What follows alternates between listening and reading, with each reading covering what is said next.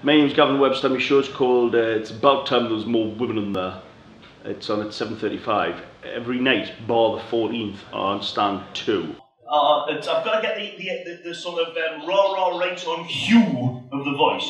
Hey, you know, you know, it's about time there was more women there. Uh, because I can't do it in my accent, you see. I can't do it tape in my accent because you probably noticed that I've got I've got an accent and it wouldn't work in my accent. You know, people say, "Oh God, what's your what's your what's your Edinburgh show called this year?" So it's called uh, "It's About Time There Was More Women in There," and it's uh, really. And uh, yeah. People who think there should be more women in there, people who um, maybe do- don't think there should be more women in there, and people who think there's the optimum amount of women in there.